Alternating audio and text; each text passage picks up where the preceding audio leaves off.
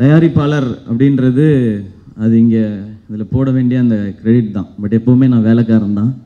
அப்படி இருக்கணும்னு தான் ஆசைப்படுறேன். அது எடுக்க வேண்டிய ஒரு முயற்சி எடுக்க வேண்டிய கட்டம். இந்த படம் ஆரம்பித்ததை சொல்லணும். அருண்ராஜா வந்து ஒவ்வொரு பாட்டு ஹிட் ஆகும்போதும் அவன் எழுதுனதோ பாடினதோ ஹிட் ஆகும்போதும் ஃபோன் பண்ணி வாழ்த்துறதை தாண்டி திட்டுவேன். இதிலே கம்ஃபர்டபுள் ஆயிடாத நீ டேரக்டர் ஆகிறதுக்கு தான் வந்த. டேரக்டர் ஆகிடணும் டேரக்டர் ஆகிடணும்னு சொல்லி ஒவ்வொரு வாட்டியும் திட்டிகிட்டே இருப்பேன். அப்புறம் தோணுச்சு அவனை ஏதாவது ஒரு ஐடியா கொடுக்கணும் அவனை ஏதாவது பண்ண வைக்கணும் அப்படின்னு சொல்லிட்டு சாரி அவன் அவன் பேசுகிறேன் படம் ரிலீஸ் வரைக்கும் அப்படி பேசிக்கிறேன். அதுக்கப்புறம் பேசக்கூடாதுல்ல. அப்போது வந்து கிரிக்கெட் வச்சு ஒரு கதை பண்ணுறா அப்படின்னு சொன்னேன் நான். ஓகே அப்படின்னு சொல்லிவிட்டு அவன் கிரிக்கெட் வச்சு பண்ணலாம். நான் என்ன மாதிரி கிரிக்கெட் சொன்னால் ஊரில் எல்லாம் விளையாடுவாங்கள்ல பசங்க அந்த மாதிரி கிரிக்கெட் வச்சு பண்ண சொன்னேன். அவன் ஒரு ஃபோர் டேஸ் கழித்து கிரிக்கெட்டு ஃபுல்லாக இன்டர்நேஷ்னல் கிரிக்கெட்லாம் வச்சு பண்ணலாம். ஆனால் விமென்ஸ் கிரிக்கெட் அப்படின்னா ஏய் ஏன்டா இப்படி பண்ணுற உள்ளதே இங்கே வந்து நம்ம அதுக்கு நடிக்கிறதுக்கெலாம் ஆள்லாம் கண்டுபிடிக்க முடியாது. எங்கே போய் பண்ண முடியும்?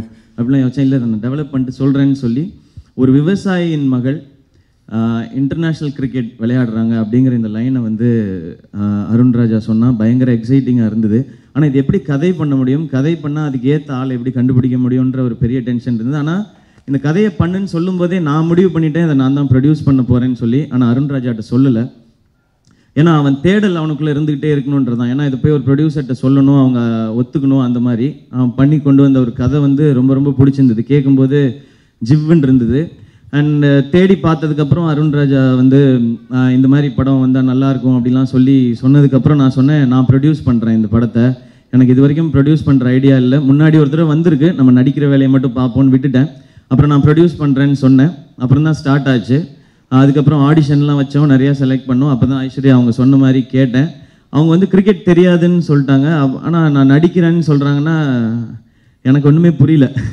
அது நல்லா நடிப்பாங்க. ஆனால் கிரிக்கெட் வந்து இன்டர்நேஷ்னல் கிரிக்கெட்டுன்னு சொல்கிறோம் இப்போது இன்டர்நேஷ்னல் கிரிக்கெட் இந்த படத்தை சொல்கிறோன்னா நாளைக்கு வந்து இன்டர்நேஷ்னல் பிளேயர்ஸ்லாம் இதை பார்ப்பாங்க. ஏன்னா இந்தியாவில் ஃபர்ஸ்ட் விமென்ஸ் கிரிக்கெட் ஃபிலிம் இதுதான். அந்த பெருமை வந்து எங்களுக்கு சரி இது எங்களுக்கே தெரியாமல் நாங்கள் எடுத்துக்கிட்ட கிரெடிட் தான். அதுக்கு முன்னாடி நாங்கள் ஆராய்ச்சிலாம் கூட பண்ணி பார்க்கல. அருண்ராஜாவை கேட்டப்ப வேர்ல்டுலன்னா நம்ம வேர்ல்டு லெவலுக்குலாம் எதுக்கடா பேசிக்கிட்டு இந்தியா லெவலுக்கு பேசுவோம் நம்ம? அப்படின்னு. அதுக்கப்புறம் அவன் தேடிலாம் பார்த்து சொன்னால் இந்த மாதிரி படமே வரலப்பா எங்கேயுமே அப்படின்னு சொன்னான். அப்போ எல்லாரும் பார்ப்பாங்க இந்த படத்தை அப்படின்றது நான் ஐஸ்வர்யா ராஜேஷ்ட அதான் சொன்னேன்.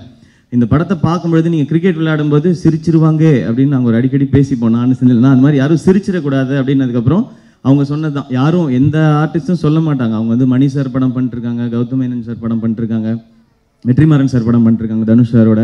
இப்படி இவ்வளோ படங்கள் பண்ணிட்டு இருக்கும்போது என்னை டெஸ்ட் பண்ணி பாருங்க அப்படின்னு சொல்லி சொன்னாங்க. அந்த கான்ஃபிடென்ஸ் தான் நினைக்கிறேன். இன்னைக்கு இந்த படம் வந்து இவ்வளோ அப்படி ஷேப் மாறி ஒரு அழகாக வந்து நிற்கிது நிறைய அடி நிறையா காயங்கள். பட் அதெல்லாம் பட்டு தான் ஆகணும்னு நினைக்கிறேன். இந்த மாதிரி ஒரு ரோல் பண்ணுறதுக்கு அண்ட் அதுக்கு நிறைய எஃபர்ட் போட்டிருக்காங்க. அது அந்த வீடியோவில் தெரிஞ்சுது. ஸோ இப்படி ஒவ்வொன்றா ஆட் ஆகிட்டே வந்தது தான் இது. அண்ட் அந்த விவசாயி அப்படி ஒரு கேரக்டர் அதுக்குள்ளே நிறைய நல்ல நல்ல விஷயங்கள் சொல்லணும் படத்தில். அந்த எமோஷனை காட்டணும் அப்படின் போது சத்யராஜ் சார் தான் முத முதல்ல அருண்ராஜா சொன்னது. அப்போ கதை சொல்ல போகணும் சத்யராஜ் சார்கிட்ட நான் ரொம்ப டென்ஷனாக இருந்தேன். ஏன்னா சத்யராஜ் சார் வந்து வருத்தப்பட வாலிபர் சங்கம்லேயே அப்படி ஒரு எக்ஸ்பீரியன்ஸ் இருக்குது ஃபர்ஸ்ட் ஆஃப் கேட்டு எனக்கு தெரியும் பண்ணுறான் இதுக்கு மேலே என்ன வரும்? தயவு செஞ்சு கிளம்புங்கன்னு சொல்லி அமுச்சு விட்டாங்க சத்யராஜ் சார் அவர் அந்த கிளைமேக்ஸை சொல்லி வந்து கன்வின்ஸ் பண்ணாங்க. அதனால எனக்கு டென்ஷன் ஜாஸ்தி ஆயிடுச்சு என்னன்னா செகண்ட் ஆஃப் போகும்போது இப்படி இருக்கு இப்படி இருக்குன்றது பயம் ஆயிருமே அப்படின்னு சொல்லிட்டு நான் டெஸ்ட் மாதிரியே உட்காந்தேன் அப்போ சார் வந்துட்டு கொஞ்சம் வந்து இதாக இருக்குது கொஞ்சம் எனக்கு ஏற்ற மாதிரி இல்லையே அப்படின்னு சொல்லி சொன்னாங்க. நான் உடனே ஃபோன் பண்ணி திட்டினேன். டேய் என்னத்தரா சொல்லி வச்சா? என்கிட்ட கரெக்டாக தானடா சொன்னேன் அங்கே போய் எதடா சொன்னேன் இல்லைப்பா இதுதான்ப்பா சொன்னேன் இதுதான்ப்பா சொன்னேன்னா இன்னொரு வாட்டி சொல்லலாம்னு சொல்லிவிட்டு அப்புறம் நாங்கள் மலேசியாவுக்கு நம்ம நட்சத்திர கிரிக்கெட் ஆட போகும்போது சாரே கூப்பிட்டு அது நல்லா இருக்கு நான் பண்ணிடுறேன் அப்படின்னு சொன்னாங்க.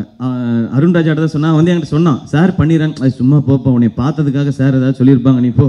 நம்ம வேறு ஏதாவது தான் பார்க்கணும். ஆனால் யாரை தான் யோசிக்கிறதுன்னு தெரிலன்னு போது அப்போ உண்மையாகவே சார் என்னை பார்த்து சொன்னாங்க நம்ம பண்ணலாம் அப்படின்னு சொல்லி.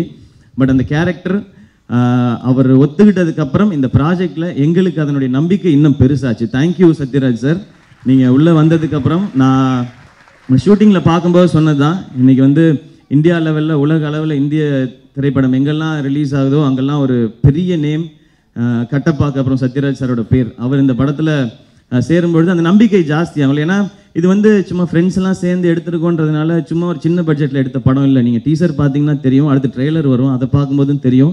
சாலிடாக இந்த ஸ்கிரிப்டுக்கு என்ன தேவையோ அதை நாங்கள் வந்து செலவு பண்ணி எடுத்துருக்குறோம். எந்த நம்பிக்கையில் அப்படின்னா ஒன்று என் நண்பன் மேலே இருக்க நம்பிக்கையில். அதுக்கப்புறம்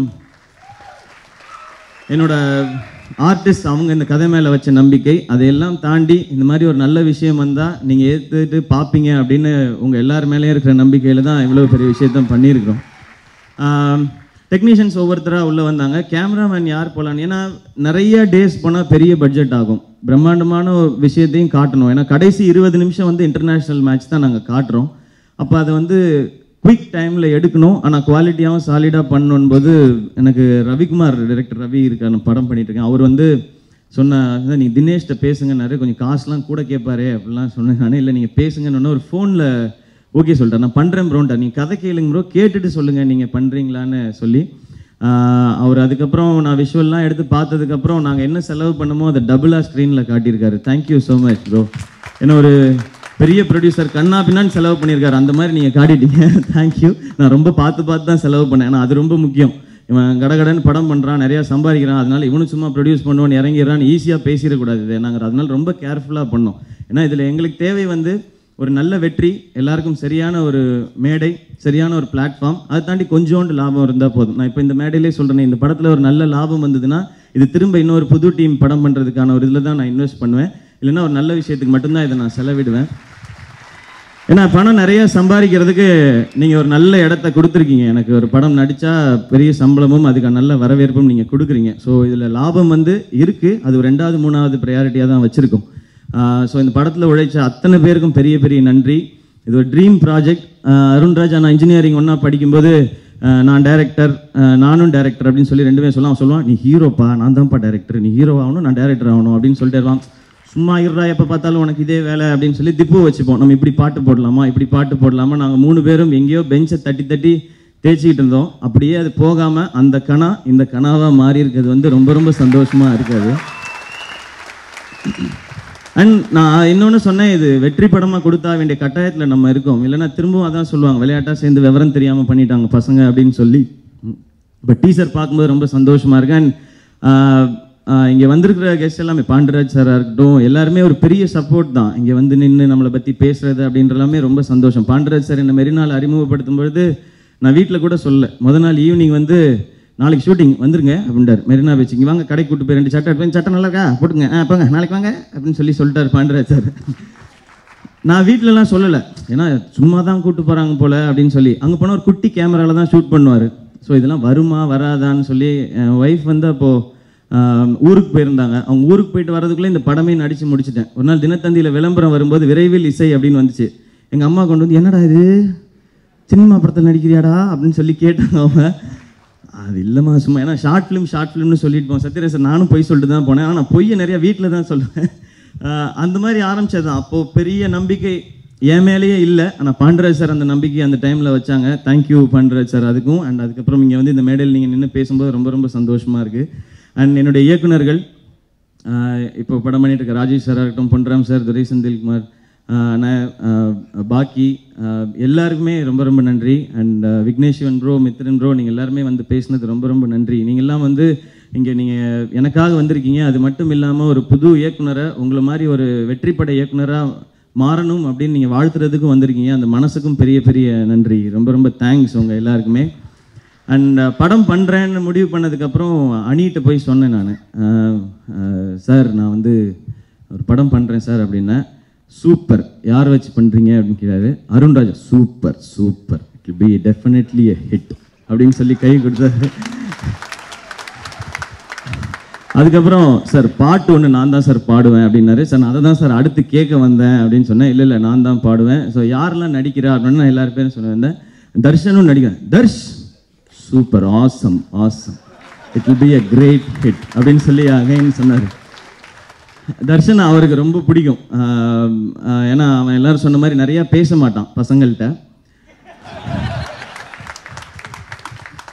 இந்த கிளைமேக்ஸ் ஷூட் பண்ணும்போது நிறைய கிரிக்கெட்டர்ஸ் விமன் கிரிக்கெட்டர்ஸ் நிறைய பேர் வந்திருந்தாங்க. ஒரே ஒரு மணி நேரம் தான் அந்த கிளைமேக்ஸில் நடித்தான் ஆனால் பதினோரு நாள் அந்த ஷூட்டிங் ஸ்பாட்டில் தான் இருந்தான். அந்தளவுக்கு சின்சியர் அண்ட் டெடிகேட்டடான ஒரு ஆள் தர்ஷன். அண்ட் uh, தர்ஷன் உங்களுடைய டான்ஸ் பார்த்து நாங்கள்லாம் வந்து மெய் சிலிர்த்து போயிட்டோம். மெய் மறந்து போயிட்டோம். சத்யராஜ் சார் சொன்னாங்க ஏன் டான்ஸ் மாதிரி இருக்கான்லாம் கேட்டாங்க. சார் அவன் உங்களெல்லாம் விட லெவலில் போய்கிட்டு இருக்கான் சார்.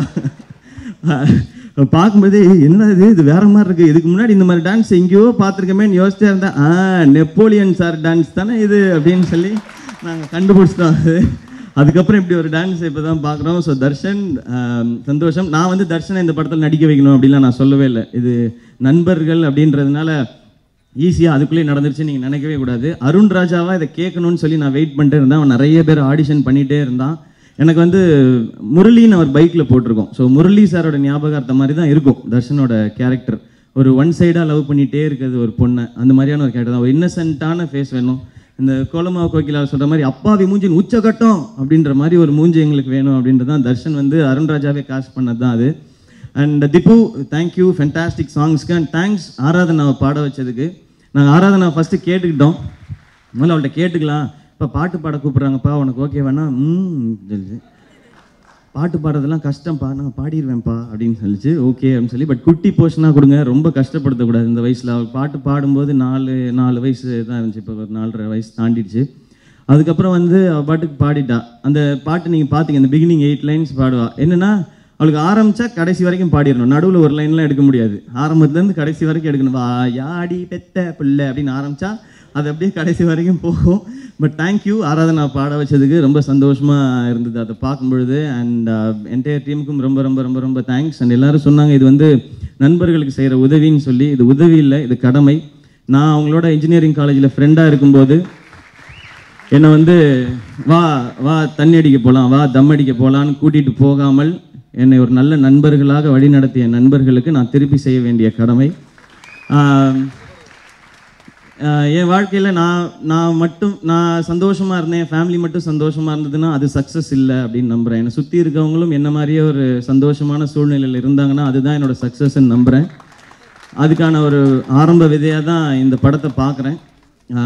ஸோ இந்த படத்துக்கு எல்லாருடைய சப்போர்ட்டும் இருக்கும் நம்புகிறேன் நிச்சயமாக இந்த படம் பெரிய வெற்றி பெறணும். இன்னும் இதுக்கான ப்ராசஸ்லாம் போயிட்டுருக்கு. ரூபன்றதை வந்து சீக்கிரம் எடிட் பண்ணி கொடுப்பாரு நான் நம்புகிறேன் அது இந்த மேடையில் இன்னொரு வாட்டி பதிவு பண்ணிக்கிறேன். ஏகப்பட்ட படம் பண்ணுறாரு அது மாதிரி மற்ற இயக்குனர்களுக்கும் ஒரு வேண்டுகோள். இந்த படம் எடிட் பண்ணி கொடுக்குற வரைக்கும் யாரும் ட்ரெய்லரோ டீசரோ கட் பண்ணி கொடுங்கன்னு அவரை கேட்காதீங்க. அடுத்த படமும் கொஞ்சம் தள்ளி வச்சுங்க. நாங்கள் சீக்கிரம் முடிச்சிடுறோம். ஸோ ரூபன் ப்ரோ தேங்க்ஸ் உங்கள் சப்போர்ட்டுக்கும் and special thanks to Smriti thanks for coming all the way and your inspiring many and உங்களை மாதிரியே இந்த படமும் இட் will இன்ஸ்பயர் மெனி அதுதான் நாங்கள் தட்ஸ் வாட் வி ஹோப் எனக்கு இங்கிலீஷ் அவ்வளோவா தெரியாது. I want to communicate with you so that's I trying to speak in English I hope you understand it thank you எப்படி? ஓகே ஓகே அண்ட் இந்த பாட்டில் நிறைய பேர் என்னுடைய நண்பர்கள் எல்லாம் அண்ட் இன்னும் ஒருத்தருக்கு முக்கியமான நன்றி ரெண்டு பேருக்கு முக்கியமான நன்றி சொல்லணும். அம்மா என்னோட அம்மா. எங்கள் அப்பா எனக்கு கொடுத்துட்டு போன பெரிய சொத்து. அவங்க இல்லைன்னா இந்த மேடை இல்லைன்னு நினைக்கிறேன். நிறைய பேர் நிறைய பேர் சொல்லியிருக்கிறாங்க. உங்களுக்கு இப்படி வாழ்க்கை கிடச்சிச்சு இப்படி வாழ்க்கை கிடச்சிச்சின்னு. ஆனால் எனக்கு வாழ்க்கை கொடுத்ததை இது வரைக்கும் சொல்லி காட்டாத ஒரு ஜீவன் என்னுடைய அம்மா. தேங்க்யூம்மா நிறைய நல்ல விஷயங்களை சொல்லி கொடுத்துருக்காங்க. நல்ல நண்பர்களை தேர்ந்தெடுக்க சொல்லி கொடுத்துருக்குறாங்க. அதுதான் இன்னைக்கு பெரிய சப்போர்ட்டாக நினைக்கிறேன். சினிமாவில் ஜாக்கிரதையாக இருக்கணும் ஜாக்கிரதையாக இருக்கணும் ஒவ்வொரு முறையும் அவங்க காமிச்ச பயம்தான். ஒவ்வொரு அடி எடுத்து வைக்கும்போதும் கவனமாக எடுத்து வைக்கணும்னு சொல்லி தந்துச்சு. தேங்க்யூம்மா அண்ட் ஒரு இத்தனை ஆ? பாப்பாவியா? அது வந்துட்டு பேச மாட்டேன்னு போய் கூப்பிட்றேன். ஓகே அண்ட் அதுக்கப்புறம் நான் பெரிய நன்றி சொல்ல வேண்டியது என் மனைவி ஆர்த்தி. ஏன்னா இவ்வளோ பணத்துக்கு ஒரு ப்ராப்பர்ட்டி வாங்கலாம் இடம் வாங்கலாம் வீடு வாங்கலாம்னு சொல்லாமல் அருண்ராஜ் அண்ணன் படம் சூப்பராக பண்ணலான்னு சொன்ன ஆர்த்திக்கு என்னுடைய தேங்க்ஸ் நிறைய சப்போர்ட் நிறைய நிறைய சப்போர்ட் ஆர்த்தி கொடுத்துருக்குறாங்க. என்றைக்குமே அவங்க அண்ணனாக தான் பார்க்குறாங்க அவங்களும் தங்கச்சியாக தான் பார்க்குறாங்க so thank you Aarthi.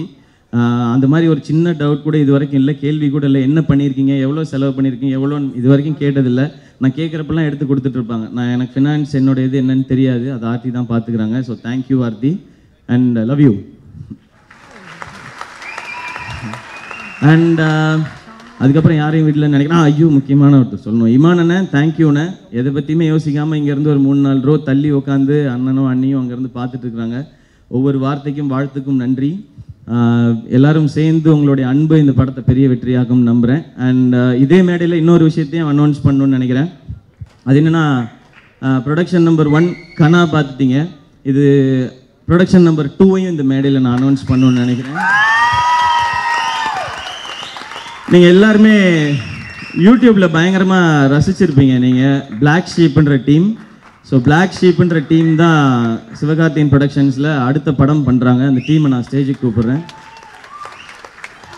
Vigneshkanth and அவர் அவர் மட்டும் வர முடியல இன்னைக்கு. அவங்களோட மொத்த டீம் வந்திருக்காங்க. சுட்டி அரவிந்தனா அப்புறம் இந்த பிஜிலி ரமேஷை ஃபேமஸ் ஆக்கி விட்டாங்களே ரெண்டு பயிலுக்கு. அவங்க கூட இருக்காங்க அந்த இந்த டீம் இவங்களோட ஐடியா எங்களுக்கு ரொம்ப பிடிச்சிருந்தது. லைக் uh, ஒரு ஒரு ஒரு ஃபன் நிறையா இருந்தது. அதுக்குள்ளே ஒரு சின்ன சோஷியல் விஷயத்தையும் அழகா காமெடியாக சொல்கிற ஒரு டீம் இந்த மொத்த டீமும் சேர்ந்து தான் இந்த நெக்ஸ்ட் ப்ரொடக்ஷன் நெக்ஸ்ட் ப்ராஜெக்ட் இங்கே பண்ண போகிறாங்க கம்மியாக தான் வந்திருக்காங்களாம். ஆனால் இவ்வளோ பேர் வந்திருக்காங்களே நம்ம ஃபங்க்ஷனுக்குன்னு நினச்சேன். இவ்வளோ பேர் இங்க இருந்தா வந்திருக்காங்க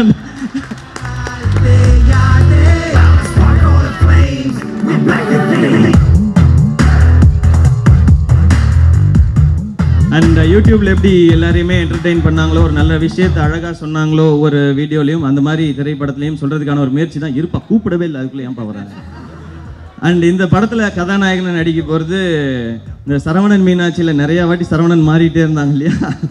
அதுல இப்போ லாஸ்டா சரவணனா வந்த நம்மளுடைய ரியோ ரியோ பிரதர் தான்.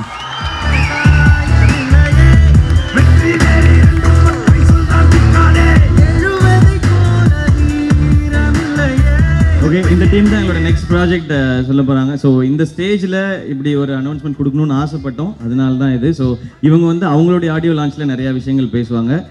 அவங்ககிட்ட இருந்து நிறைய நல்ல ஸ்கிரிப்டை சூப்பரான படத்தை எதிர்பார்க்குறாங்க பிரதர் மொத்த டீமுக்கும் வாழ்த்துக்கள் நன்றி வந்ததுக்காக. விக்னேஷ்காந்த் ரொம்ப பிஸியாக இருக்கார். பயங்கர பிஸி ஆர்டிஸ்ட் ஆகிட்டாரு அதனால வர முடியல. சொல்ல சொன்னார். லைவ் பா லைவ் பார்த்துட்டு இருக்கு இங்கே வந்திருக்கலாமே. ஷூட்டிங் நீ ஏன் போய் சொல்லிட்டு வீட்டில் உட்காந்துருக்காரு okay thank you thank you எல்லாருக்குமே. Thank you so much and இந்த டீம் தான் இப்போ இந்த ஈவெண்ட்டையும் இப்படி அழகாக நடத்திட்டு இருக்குது. ஸோ தேங்க்யூ என்டையர் டீமுக்கும் ஓகே நான் ரொம்ப டைம் எடுத்துக்கிட்டேன். சீக்கிரம் முடிக்க சொல்கிறாங்க அண்ட் மீண்டும் வந்திருக்க எல்லாருக்கும் பெரிய பெரிய நன்றி. அண்ட் ஞானவேல் சார் தேங்க்யூ நீ வந்து thank you so much sir and Rama ma'am உங்களை பற்றியும் சொல்ல ஒரு எக்ஸ்ட்ராடனரி பர்ஃபார்மன்ஸ் நீங்கள் இங்கே பேசலை. நான் அப்போ கூட சொல்லிட்டு இருந்தேன் அவங்க மேக்கப் பண்ணுற நேரத்துக்கு எடுத்த டைம்ல கொஞ்சம் பேசியிருக்கலாமே அப்படிலாம் சொன்னேன். தேங்க்யூ மேம் உங்களோட இதுக்கும் அண்ட் வேறு யாரையாவது மிஸ் பண்ணியிருந்தேன்னா அதில் சாட்ஸ் ப்ரோ அண்ட் பல்லவி எல்லாருக்குமே ரொம்ப ரொம்ப பெரிய நன்றி. அண்ட் தேங்க்யூ ஒன்ஸ் அகெயின் இந்த படத்துக்கு பெரிய சப்போர்ட் நீங்கள் கொடுக்கணும் எல்லாருமே. And once again special thanks to Smriti and Era Saravanan அண்ணன் அவர் சொன்ன வார்த்தைகள் எல்லாம் இன்னும் காதில் கேட்டுகிட்டே தான் இருக்குது பட் கத்துக்குட்டி அது எனக்கு ரொம்ப ரொம்ப பிடிச்ச படம். அது பெரிய பிரச்சனையை நம்ம அதுக்கப்புறம் தான் சந்தித்தோம் அது ரொம்ப முன்னாடியே சொல்லியிருந்தார் படத்தில். தேங்க்யூ சார் இங்கே வந்து பேசினதுக்கு. அண்ட் விதை யோகநாதன் சார் நீங்கள் போ நீங்கள் சொன்னீங்க இல்லையா விதை வந்து பெருசாக இருக்கணும்னு சொல்லி. அப்படி ஒரு விதையாக தான் நாங்கள் இந்த மொத்த நிகழ்வே பார்க்குறோம் நீங்கள் சொன்னீங்க ஆரம்பத்திலே திரும்பி பார்த்துருக்கலாமே இந்த விவசாயத்தைன்னு சொல்லி. அது தெரியல அப்போது நாங்கள் உணர்றதுக்கு எங்களுக்கு டைம் ஆயிடுச்சுன்னு நினைக்கிறேன். ஆனால் இப்போ கரெக்டான டயத்தில் தான் இது ஆரம்பிச்சிருக்கோம்னு நினைக்கிறேன். ஒரு ரெண்டு வருஷத்துக்கு முன்னாடியே நாங்கள் இது இந்த மாதிரி ஒரு ஐடியாவை யோசிச்சிட்டோம். இன்னும் நிறைய படங்கள் உங்களுடைய வழிகளையும் பேசும் உங்களுடைய பெருமைகளையும் பேசும். எங்கேயோ நாங்கள் ஒரு சின்ன கருவியாக இருப்போம்னு நினைக்கிறேன். வந்ததுக்கு ரொம்ப ரொம்ப நன்றிங்கய்யா நன்றி. எல்லாருக்குமே வந்திருந்த எல்லாருக்கும் பெரிய பெரிய நன்றி. And Kalai bro sorry Sathyam team very sorry நான் கொஞ்சம் எக்ஸ்ட்ரா டைம் எடுத்ததுக்கு. ஆடி ராஜாண்ணா உங்களுக்கும் தேங்க்ஸ் பேசவே மாட்டேன்னு சொல்லிட்டு பேசிட்டீங்க. Thank you and Kalai bro please